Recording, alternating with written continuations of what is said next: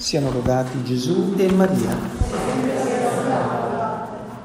Cari fratelli e sorelle, la preoccupazione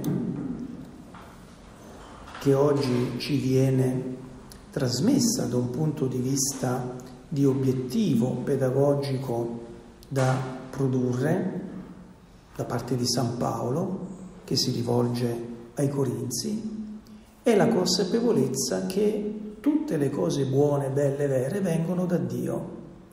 San Paolo ci tiene a far capire che non è frutto del suo ingegno, non è frutto della sua retorica, non è frutto della sua cultura il poter trasmettere la novità del Vangelo, il poter trasmettere quei valori che poi dovranno condurre la comunità cristiana e quindi modello di tutte le altre comunità cristiane in quanto essa primitiva, ma è la grazia di Dio che ispira.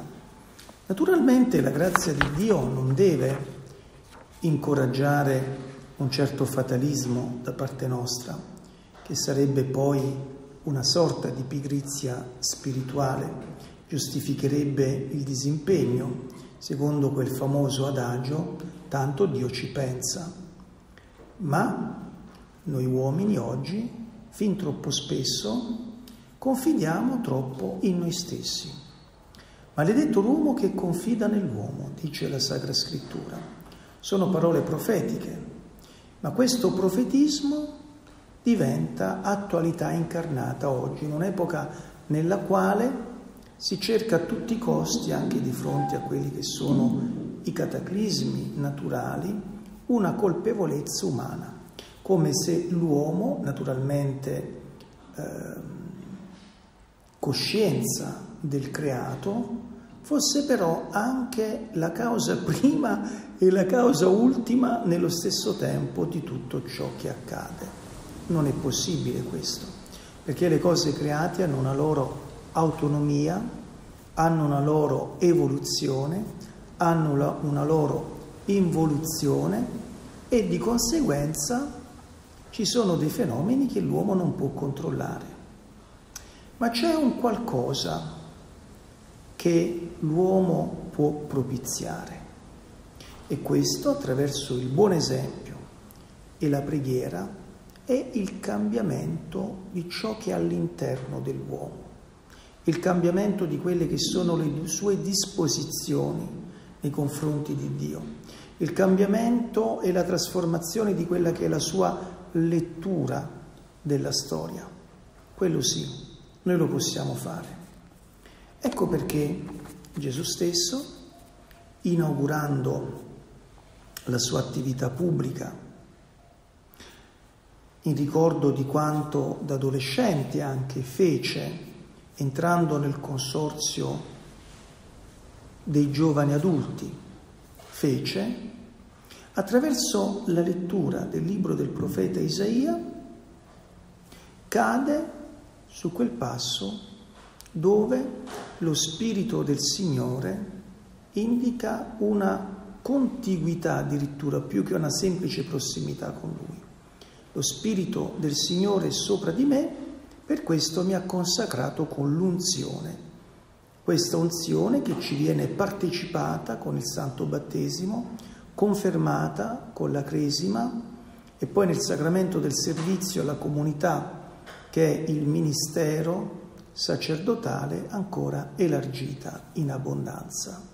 Ma l'unzione significa impregnazione, come l'olio che penetra, come l'olio che sana, guarisce, le aridità della pelle, le scottature un po' del sole come per me, ecco, è necessario. Così allo stesso modo noi dobbiamo lasciarci impregnare dal Signore, dobbiamo assorbire il Signore attraverso anche un processo lento, alle volte di conversione, ma costante ed efficace. E questo lasciarsi eh, trasformare dal Signore, questo assorbire il Signore nella nostra vita, mette poi al bando quella che è la preoccupazione primordiale di San Paolo, come dicevo, cioè attribuire a se stessi dei meriti, delle capacità e quindi abbandonarsi a Dio.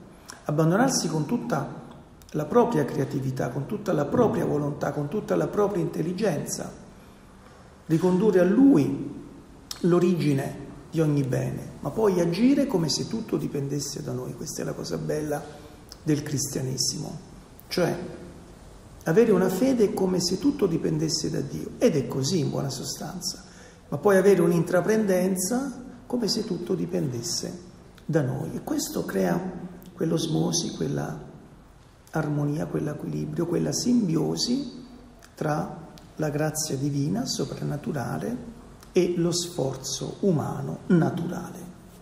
Chiediamo allora al Signore di abbandonarci a Lui, di affidarci a Lui.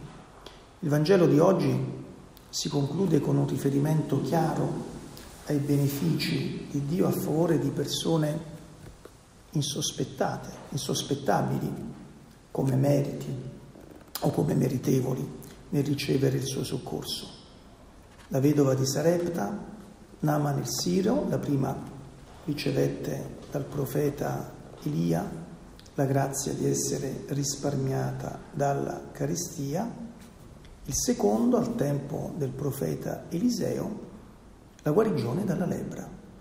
Allora noi lasciamoci guarire abbandonandoci al Signore da quella carestia di Eucaristia. Il nostro mondo oggi vive questa carestia, ma non perché non c'è l'Eucaristia, ma perché gli uomini sembrano voler fare a meno di questo pane del cielo. E poi chiediamo al Signore anche di guarire dalla lebbra. La lebbra, biblicamente parlando, è il peccato. La lebbra è accostata come segno alla peccaminosità che investe l'anima naturalmente. Quindi possa il Signore attraverso il nostro abbandono a Lui, alla Sua volontà, ma soprattutto alla Sua grazia, guarirci da questa lebbra e da questa carestia e darci in abbondanza i suoi doni, pane eucaristico e la vita di comunione con Lui attraverso quella immacolatezza che noi acquistiamo grazie al sacramento cosiddetto dei morti, proprio perché eravamo morti quando lo riceviamo, ma una volta ricevuto siamo vivi, che è la Santa Confessione. Siano lodati Gesù e Maria.